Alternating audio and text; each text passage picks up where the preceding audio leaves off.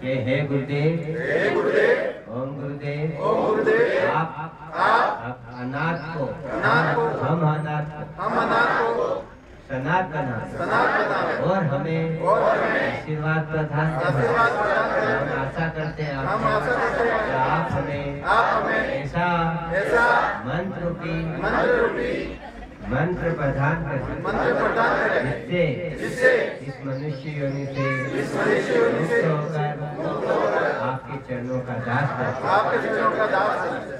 सतगुरु देव की जय। आवाज़ आई मगर दोनों हाथ को दोनों अंगूठों को ऐसे अंदर कान के अंदर रखे। आँख बंद करके कोई शब्द सुनना है। कोई आवाज़ आएगी उसको सुनना है, पहले आँख बंद करके सुनना है।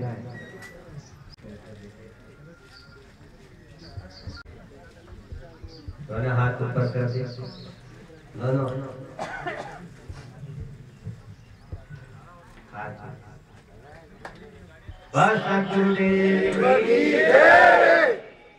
और पायल की मूर्धन की, और पृथ्वी चित्र एक बहुत बड़ा क्षेत्र भौतिक क्षेत्र को काट के आध्यात्मिक क्षेत्र में जाने के लिए मनुष्य को बहुत सारे मार्ग में चलना पड़ता है। और इस जगह आप लोगों को आध्यात्मिक क्षेत्र है, जहाँ पर आप लोग विराजमान है, जो कम से कम पाँच साल की क्रिया पाँच मिनट में पूरी कर रहे हैं। कितनी? हाँ तो ये आप पाँच साल की क्रिया है, जो पाँच मिनट में पूरी कर रहे हैं। एक गुरुदेव की कृपा होती है शिष्य के ऊपर। मानव जीवन में बहुत मुश्किल से गुरु की वंदना है।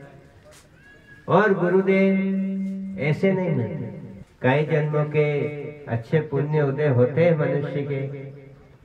उसकी वजह से ही सदगुरु की प्राप्ति ना कि बिना पुण्य उदय, बिना भाग्य के मनुष्य को कुछ ही प्राप्त नहीं कहते हैं कि बिना भाग्य विदाता के ना मिले भली वस्तु का योग। तो ये तो भली वस्तु योग है। आपको मिल रही है और सहज रूप से मिल रही है। यहाँ तो लाखों रुपए लोग बाग खर्च करते हैं बड़े बड़े ध्यान शिविरों में जाते हैं तो भी नहीं मिलती ठीक है धीरे धीरे आँख खोलते हुए मेरी तरफ़ देखें।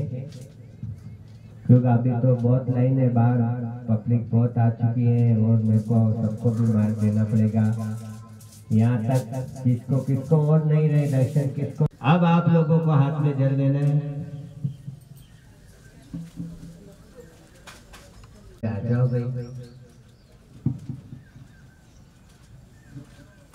श्री राम श्री राम श्री राम बोलो, हे गुरुदेव मैं संकल्प लेता हूँ। क्या मैं सत बोलूँगा? सत पे चलूँगा? और सत धर्म का पालन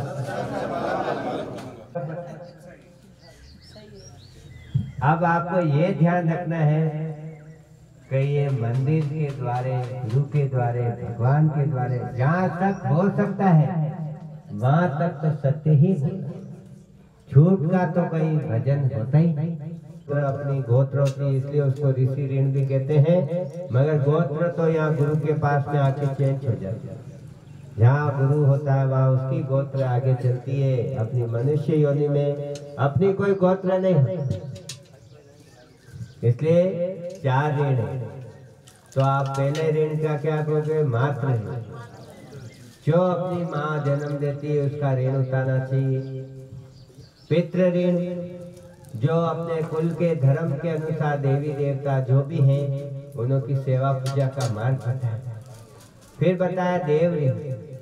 जो देवता ऋण है, जो अपन अपने देवी देवता, हनुमान जी, महादेव जी वगैरह सभी देवता, तैतीस सनत कोटि देवता है उनका ऋण अपन।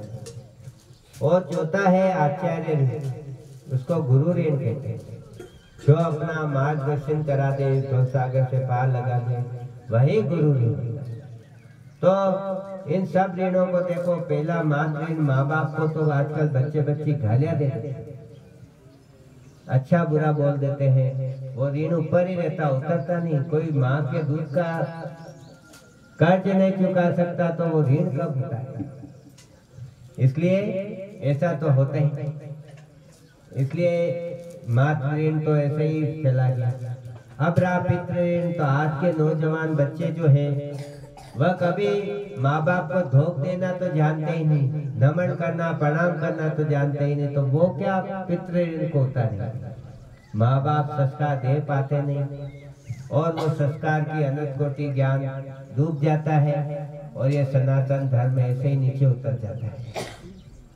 तो अपन को पितृ ऋण भी आज के बच्चों को कोई सिखाते नहीं तो वो कुल के धर्म पे चलते नहीं। तो माँ बाप की लापरवाही की वजह से बच्चे बिगड़ जाते हैं और अपना पितृ ऋण जो होता है, वो खत्म होता है। तामसी चीज़, नशे की चीज़ तो कोई अपने शरीर पे आने ही नहीं। नशा बहुत विनाशकारी होता है और नशे से कई तरह से बीमारियाँ प्रकट होती है और मनुष्य को एक दिन नशे के पीछे ही मरना पड़ता है। समझ में आ रही भगवान ने कहा, मैंने मनुष्य को इतना सुंदर शरीर दिया, सारे सुविधाएँ दी। जो राजा महाराजा और भगवान को तक प्राप्त नहीं है, वो सारी सुविधा मनुष्य को मिली हुई है। देखो, आप पाँच मिनट, पाँच सेकंड में आप अमेरिका बात कर लेते हो। पाँच सेकंड के अंदर आप उदयपुर जाके वापस आ जाते हो। हमने ना तो ये मन से भी ज़्यादा गति मनुष्य को दी हुई है। और ये मन बड़ा हरानी है। तो इसलिए आप थोड़ा ध्यान देना ज़रूरी है। तो ये चीज़ें विनाशकारी चीज़ अपने शरीर पर मत क्यों? पहले ही शरीर नाशवान। और नाशवान शरीर को अपने शरीर पर और नाशवान चीज़ रखें तो बुरी बात। तो जहाँ तक हो सके इस चीज़ को छोड़ने की कृपा करें और ध्यान